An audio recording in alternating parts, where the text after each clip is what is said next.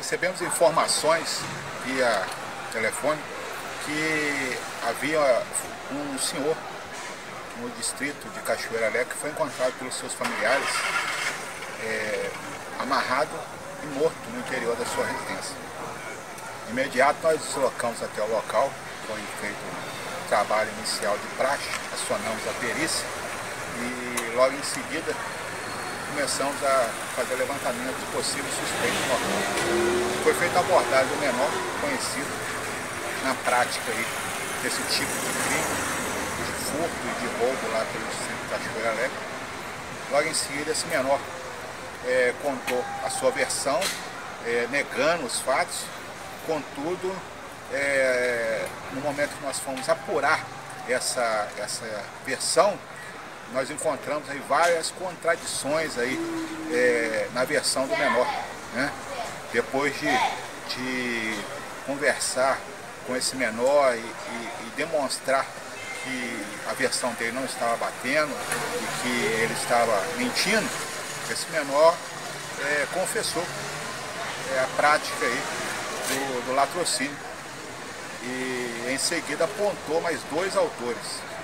De imediato nós começamos a fazer várias diligências no interior do distrito e logramos êxito em localizar esses dois autores andando tranquilamente pelo distrito, como se nada tivesse acontecido. Esses autores foram abordados e de imediato é, o, menor, o maior de idade foi preso em flagrante e o menor apreendido em flagrante.